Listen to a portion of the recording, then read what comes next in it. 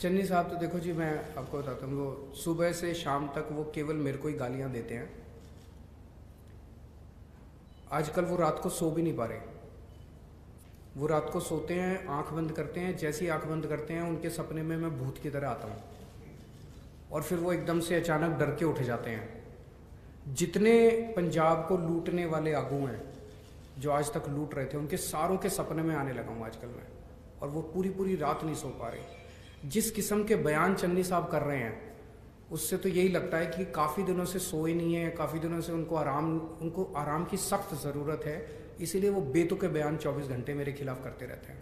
कल प्रियंका गांधी आई थी और सीधा सीधा आप लोगों पे आरोप लगा कि टीम है आरएसएस के साथ आप लोग जुड़े हुए हैं। वो पिछले सात साल से यही कह रहे हैं बीजेपी की बी टीम है आरएसएस की बी टीम है इनकी सी टीम है हाय रे मर गए रे केजरीवाल हमारे वोट लेके आ रहे वो रोते रहेंगे धीरे धीरे खत्म हो जाएगी कांग्रेस। तो उन्होंने कहा था कि केजरीवाल साहब सिर्फ़ वोट की राजनीति करते इनका सुरक्षा को लेकर कोई लेना देना नहीं बॉर्डर स्टेट हमेशा बढ़ा रहा उसी पर निशाना साधा हुआ देखिए आज पंजाब के अंदर पिछले पाँच साल में और खासकर पिछले तीन चार महीने में जो घटनाएँ घटी हैं उससे एक बड़ा प्रश्न खड़ा होता है कि क्या कांग्रेस पंजाब को, पंजाब के लोगों को सुरक्षा दे सकती है? एक तरफ़ जहाँ आम पंजाबी अपने आप को सुरक्षित महसूस कर रहा है, महिलाओं के खिलाफ बहुत सारी वारदातें हो रही हैं, आम जनता के बीच में क्रिमिनल आपराधिक घटनाएँ बढ़ी हैं। दूसरी तरफ़ बेअदबी के कई सारे अटेम्प्ट्स हुए हैं पिछले कुछ महीनों में। लुधियाना में बॉम्ब ब्लास्ट हुआ। प्रधानमंत्री की सुरक्षा, जब प्रधानमंत्री आए, प्रधानमंत्री की सुरक्षा में सिक्योरिटी ब्रीच हुआ। प्रधानमंत्री की सुरक्षा देश की सुरक्षा है। उसके ऊपर राजनीति नहीं होनी चाहिए। उसके ऊपर दोनों तरफ़ से राजनीति हुई। मैं उधर भी, दोनों तरफ़ से उन्होंने राजनीति की। आम आदमी पार्टी कभी भी देश की सुरक्षा के साथ समझौता नहीं करती। हम कभी राजनीति नहीं करते। हमारे केंद्र सरकार से सौ मतभेद है, सब जानते हैं। लेकिन दिल्ली के अंदर जब जब लोगों की पब्लिक इंटरेस्ट की बात हुई, हमने केंद्र सरकार के साथ सहयोग करके, जैसे कोरोना का मामला था, सब लोग आप जानते हो कि किस तरह से हमने केंद्र सरकार के साथ सहयोग करके दिल्ली को कोरोना से बचाया। यहाँ भी जब भी सुरक्षा की, राष्ट्रीय सुरक्षा की बात होगी, हम केंद्र के साथ मिलके एक टीम की तरह देश की और पंजाब की सुरक्षा करेंगे। दूसरी चीज़, बॉर्डर से नशा आ रहा है। बॉर्डर से टिफ़िन बॉम्ब आ रहे हैं। बॉर्डर से ड्रोन आ रहे हैं। इनमें बहुत सारी घटनाओं के पीछे कहीं ना कहीं रिश्वतखोरी होती है, भ्रष्टाचार होता है। हमने देखा जब बॉम्बे बॉम्ब ब्लास्ट हुए थे तो कस्टम के कुछ अधिकारी बिके थे, जिसकी वजह से आरडीएक्स हमारे देश के अंदर आया था। यहाँ भी कहीं ना कहीं भ्रष्टाचार होता है, जिसकी वजह से नशा एंटर करता है पंजाब के अंदर, जिसकी वजह से ये सारी चीज़ें एंटर करती है। आम आदमी पार्टी अकेली कट्टर ईमानदार पार्टी है। ईमानदार पार्टी आएगी तो नशा आना बंद होगा और बॉर्डर सुरक्षित होगा। एक मिनट।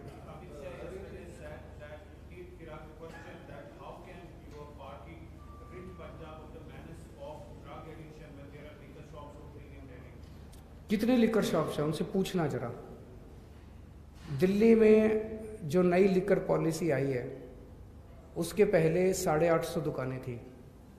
आज दिल्ली में साढ़े पाँच सौ छः सौ दुकानें हैं। तो तीन सौ दुकानें तो कम ही हुई हैं। फिर वो कैसे कह रहे हैं कि दिल्ली, वो कुछ भी बोल देते हैं ये और बीजेपी तो झूठ फैलाने की मशीन है। मैं उनसे उनसे अगली बार वो ये कहे तो उनसे ये पूछना कि दिल्ली के अंदर तो दारू एक नंबर में बिकती है। गुजरात के अंदर तो पूरा ड्राई स्टेट है। खुलेआम दारू की नदियाँ बह रही हैं वहाँ।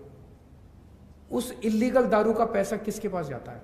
गुजरात के अंदर जो इलीगल दारू बिकती है, उन्होंने प्रोहिबिशन किया हुआ है गुजरात में। जो इलीगल दारू बिकती है, उसका पैसा किसके पास जाता है?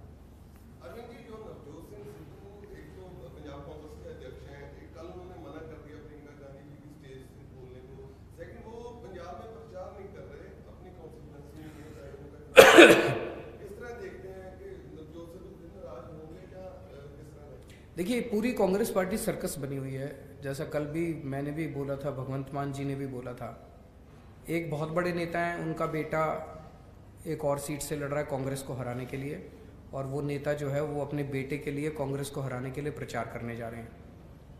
चन्नी साहब है, उनका भाई दूसरी सीट से लड़ रहा है कांग्रेस को हराने के लिए।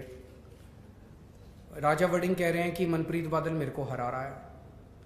ये सारे के सारे कांग्रेसी आपस में एक दूसरे को हराने में लगे हुए हैं। क्या ऐसी पार्टी पंजाब को भविष्य दे सकती है? और दूसरी तरफ़ जब आप आम आदमी पार्टी की तरफ़ देखो तो एक अच्छी सुनियोजित सिस्टमैटिक परिवार टीम नज़र आती है। ऊपर मैं हूँ, पंजाब में भगवंत मान है, नीचे हमारे कैंडिडेट्स चुनाव लड़ रहे हैं घर घर जाके लोगों को पंजाब की तरक्की की बात कर रहे हैं। जिस घर में प्यार होता है, मोहब्बत होती है, वही बरकत करता है। जहाँ इतने लड़ाई झगड़े होते हैं वो तो परिवार बिखर जाता है। तो अरविंद जी एक आखिरी सवाल जिस तरह आरोप लगते हैं अकाली दल ज़्यादा ये कह रहा है कि दिल्ली से सरकार चलेगी क्या पंजाब के लोगों को आप श्योरिटी दे सकते हैं कि पंज- अरविंद केजरीवाल का पंजाब की सरकार में कोई दखल नहीं होगा जो फैसले में पंजाब नहीं होगा? देखो जी मैं समझ सकता हूँ आप ये प्रश्न क्यों पूछ रहे हैं क्योंकि जिस तरह से कैप्टन अमरिंदर साहब जब सीएम थे तीन तीन चार चार दिन तक गांधी परिवार के वेटिंग रूम में बैठे रहते थे। हफ़्ते में तीन चार गेड़े तो उनके लग ही जाते थे दिल्ली के। कोई भी छोटे से छोटा निर्णय हो, वो दिल्ली उनको जाना पड़ता था हाईकमांड के पास। आज चन्नी साहब जो हैं, हफ़्ते में पाँच सात बार तो चले ही जाते हैं दिल्ली। सिद्धू साहब चौबीस घंटे दिल्ली बैठे रहते हैं। ये सारी कैबिनेट उनकी दिल्ली बैठी रहती है। पिछले चार महीने में आप मेरे को ये बताओ, भगवंत मान कितनी बार दिल्ली आए? दो बार। जब भी पंजाब का कोई मसला होता है, केजरीवाल पंजाब आता है। हमारी पार्टी के सारे निर्णय पंजाब में लिए जाते हैं। हमारी पार्टी पंजाब से चलती है, उनकी पार्टी दिल्ली से चलती है। लेकिन अब अगर हमने दिल्ली में स्कूल बनाए हैं अस्पताल बनाए, ये ठीक किए, बिजली ठीक की, ये हम तो चाहते हैं कि सारे देश के लोग इससे सीखें। अगर हमने स्कूल अच्छे कर दिए तो बीजेपी का कोई मुख्यमंत्री मुझे कह दे, मैं हम उनको सिखा देंगे। कांग्रेस का कोई मुख्यमंत्री हमें कह दे, हम उनको सिखा देंगे। तो भगवंत मान तो हमारा ही है, उसको तो बताएँगे ही ना, कैसे किए? वैसे भगवंत मान यहाँ जो अच्छे काम करेगा, वो हम सीख के दिल्ली में करेंगे। देश की बात है वहाँ पे। पूरे देश में कहीं कोई, किसी भी कोने में कोई अच्छा काम हो, सबको सीख के करना चाहिए। उसमें क्या बात है सर सर आपने कल कहा था कि चन्नी दोनों विधानसभा क्षेत्रों से हार रहे हैं उन्होंने कहा कि मेरा तीन महीने का काम इतना अच्छा था कि मैं दोनों हलकों से पच्चीस हज़ार के मार्जिन से कम से कम जीतूँगा दोनों तीन महीने का काम तो सारे देख रहे हैं टीवी पे कितनी नोटों की गड्डियाँ कैसे गिन रहे हैं लोग। तो वो तो लोगों ने देखा है कि ट्रांसफ़र पोस्टिंग में रेता चोरी में इन्होंने सारे रिकॉर्ड तोड़ दिए। गिनीज बुक वाले कंसिडर कर रहे हैं भाई। एक आपने ट्वीट भी किया था कि इसके लिए समय काफ़ी लगता लेकिन 111 दिन एक सौ- इन्होंने तो 111 दिन में ही सारे पुराने रिकॉर्ड तोड़ दिए। ਸਾਡਾ ਹਰ ਇੱਕ ਪ੍ਰੋਗਰਾਮ ਦੇਖਣ ਅਤੇ ਸਾਡੇ ਨਾਲ ਜੁੜਨ ਲਈ ਸਬਸਕ੍ਰਾਈਬ ਕਰੋ ਬਨੇਰਾ ਟੀਵੀ ਅਤੇ ਨੋਟੀਫਿਕੇਸ਼ਨ ਲਈ ਬੈਲ ਆਈਕਨ ਤੇ ਕਲਿੱਕ ਕਰੋ।